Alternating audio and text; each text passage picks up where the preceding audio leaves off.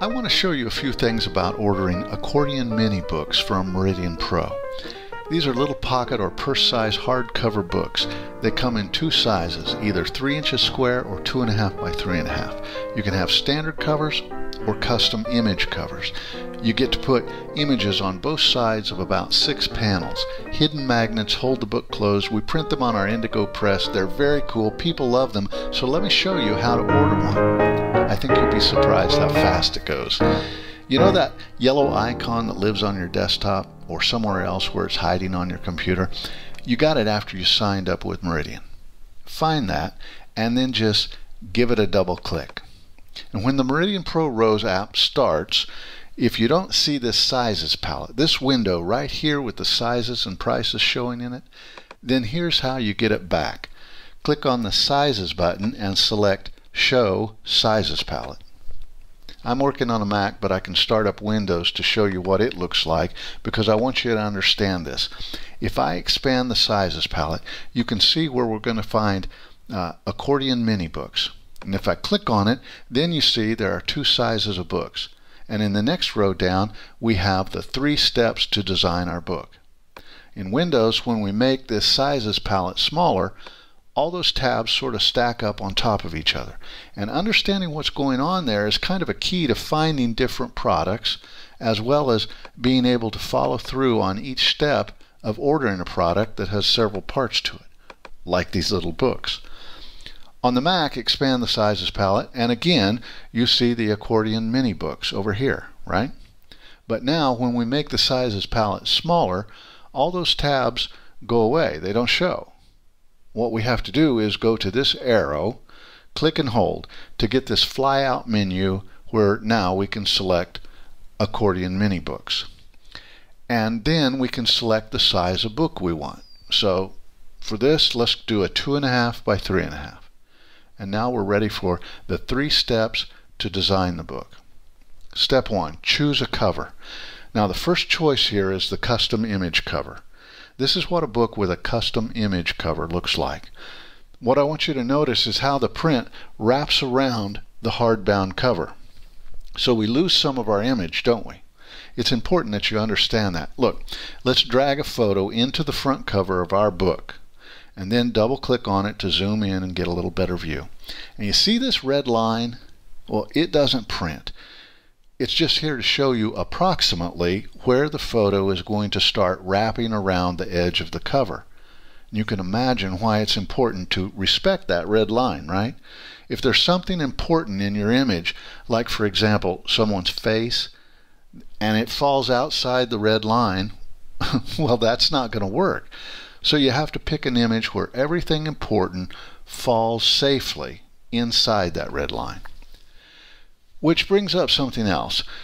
There are normal manufacturing tolerances in the processes of printing, trimming, wrapping the cover, and assembling these books.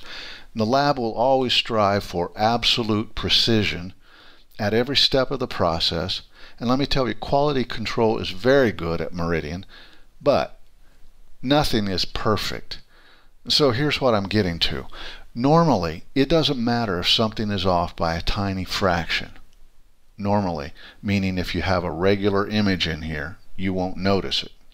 But if you build something in Photoshop and you add a border or a box or type or a graphic, and if you design it too close to that red line, well, then all bets are off. Because of normal manufacturing tolerances, there's a chance it will not fit exactly the way you want it to. So on these smaller products, we strongly suggest you stay away from designing boxes or borders or lines that are designed too close to the edge. You've probably noticed we can put a title on the front of our book.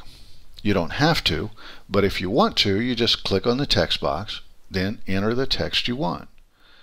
Keep adding characters and the type gets smaller, which also means you can add spaces on each side if you want the type to be smaller. To change the font and set its color, you open the Options palette and you'll see how to pick a different font and you'll need to have these fonts installed on your computer.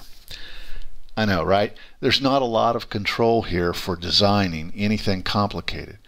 it is what it is. If you're not happy with it, what you can do is design your cover in Photoshop or another design app and save it as a JPEG, then pull that final image back into ROES. Okay, now we need to do the back cover. Get an image and drag it in, same as we did on the front cover. And then when you're satisfied with the design of both covers, front and back, then we would click Add to Order. Don't forget to click Add to Order before you go to step two. Because just because we did this work and designed the cover, that doesn't mean that it's in the order until we click that button. But I'm not going to click that button because I want to show you the standard covers. You don't get an image on the front and back of your book, but I think the standard covers look very classy. They're fast and easy to order, and here's the thing they're less expensive. You click on one of these, it shows up over here in the main layout window, and then click add to order. And that's it. Takes care of both front and back covers. Now we can go to step two. Look at the different layouts, select one, and then you can just start dragging images into the different boxes. It's pretty easy, right? You double click to zoom in and view just one of the image boxes. Double click again to zoom out. If we don't like the layout we started with, we can try another one. You can keep trying different images if you want. Just drag a new image right over the top to replace the old one. Everything I'm doing here is pretty basic. Like rotate an image with this slider. Use this zoom slider to crop the image tighter. Uh, step 2, the front of the accordion pages is done. Click Add to Order. And then we go to step three, which is choose the back layout. And we build the back of the accordion the same way we did the front. I'm going to use a trick to make this demo move along a little faster. With this layout, I've got six image boxes, and I'll pick six photos. You know how to select more than one image? You hold the Command key on the Mac, Control key on Windows, and click on each image that you want. Then I can drag them all over at once. And of course, if we want, we could adjust any of them or replace one with another image. But this looks pretty good. So I'm going to click Add to Order. And that's it. We're done. We've got an accordion mini book ready to be sent to the lab. So we click here on the review order window. See, there's the cover, and you can see the price of the book. Then here is the front of the accordion, and here's the back, just as we ordered it. We could add other prints and products to this order if we wanted to.